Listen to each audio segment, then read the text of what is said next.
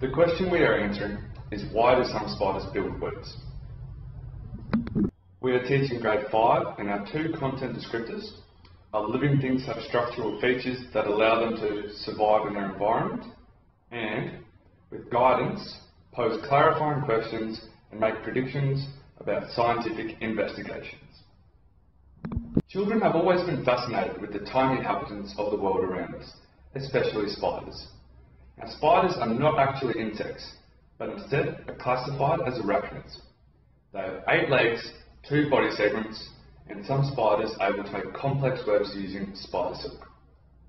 Spider silk is an incredible fibre, as it is amazingly strong and elastic. In fact, scientists are currently trying to replicate the silk for use by humans. The spider excretes the silk from the rear of their abdomen as a liquid, and is pulled by the spider's legs into solid fibres. To construct the web, multiple different types of silk is produced. Some are sticky, some are stretchy, and some are very strong.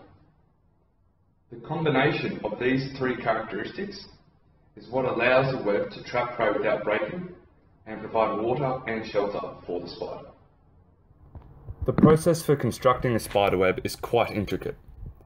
The spider first finds a suitable location to begin constructing the web. It then releases an incredibly light piece of silk which is taken by the wind across a gap to another point, such as a branch or bush. This is the foundation of the web. From here, the spider then anchors the web to the ground and various other branches before constructing the familiar spiral pattern of the web that is commonly seen. Once the base of the web is created, the spider will then coat the web in a sticky substance, allowing the web to catch and trap insects for food. The web is able to stretch, which keeps it from breaking when something flies into it. A spider will use its web for the three necessities of a living thing food, water, and shelter. When something flies into the web, the spider is alerted due to the vibrations caused by the web. It then goes and wraps the prey in a silk cocoon so it can be eaten later. It gets its water when dew or moisture in the air condenses on the web in the form of tiny droplets. It's, all, it's important to note that the web is also the spider's home. Webs are constructed off the ground in order to reduce the chance of predators encountering the web, and is often made between two trees or branches. Ultimately, spiders build their webs to survive. The web provides them with all the necessities that a living thing requires, but it is important to note that not all spiders build webs. Some build traps, and others just simply hunt for their prey. Those who do build webs do so because they manage to adapt to their environment. The activity we are doing as a group focuses on an aspect of why some spiders make webs. The activity is about how the vibrations in the webs allow the spider to sense its surroundings and identify the level of danger the spider could be in, or if they have acquired their afternoon tea. The class starts off being outside, standing around and holding a part of a spiderweb net located at the playground park across from the school grounds. Students are to stay off the net during the activity and only hold the net with both hands in case of someone falling and being injured. Follow the teacher's instructions when crossing the road. The activity begins with one of our students on the spider web around it, not on top of it. So the activity is based on where one of the teachers will come around and make a vibration. While this happens, one of the students has their eyes closed, so they're un unable to know where the vibration comes from. So when the student has their eyes closed, one of the one of the teachers around the net will make a vibration. Once that's happened, the student will then open their eyes and have a guess on where that vibration will be. The reason for this activity is that spiders have, have very poor eyesight, so they have to rely on their vibrations. They have to rely on their vibrations to know what is around them and where it could be. As the students return to their allocated groups of five in the class, they will now further explore the concept of why do some spiders make webs. Each group is allocated a piece of plywood 450mm by 450mm that already have 8 nails put into the plywood. Also there will be 5 meters of fishing line with scissors that will be used as the webbing. For the activity, I will ask the students an underpinning question that will set the basis for the rest of the activity. What does a spider need to do to survive? A short video clip will be played that gives a description on the vibrations of a spider's web. This will help those visual learners understand the concept when watching.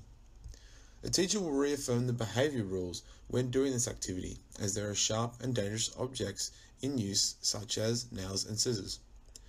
If a student is to get injured from these tools, they will notify one of the teachers of the injury so they can be fixed appropriately.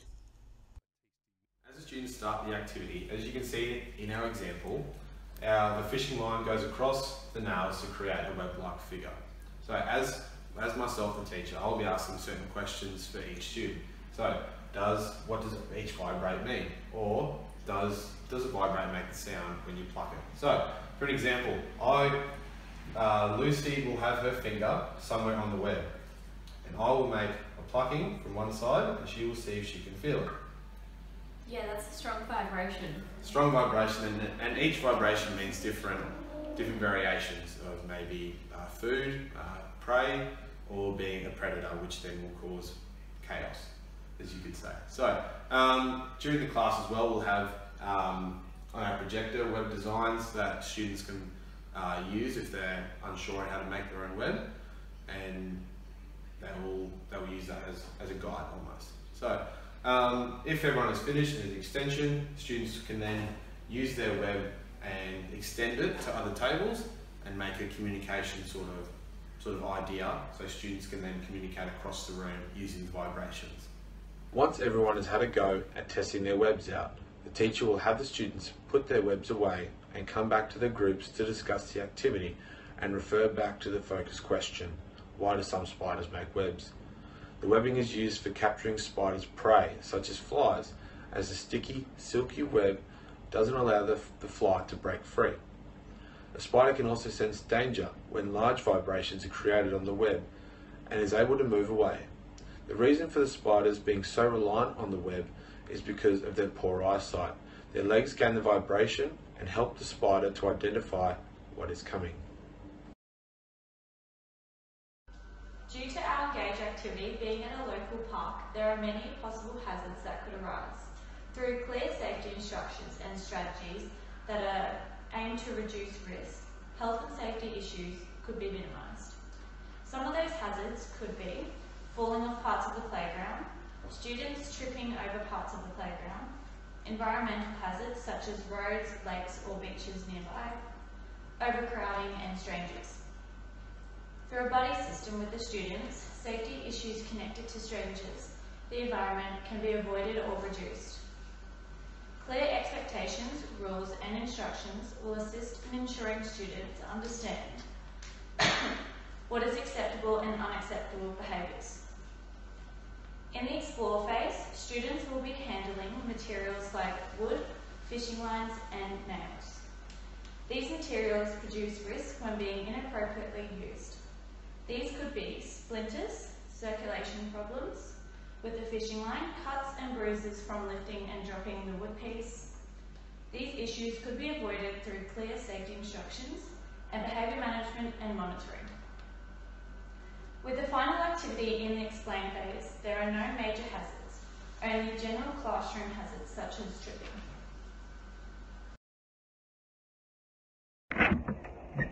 For the assessment phase of the learning experience, students will write up a scientific report based on the exercises they've just completed. They will need to include the correct information, which includes a title, question, hypothesis, materials, risk assessment, method, observations both written and visual, results, discussion and conclusion.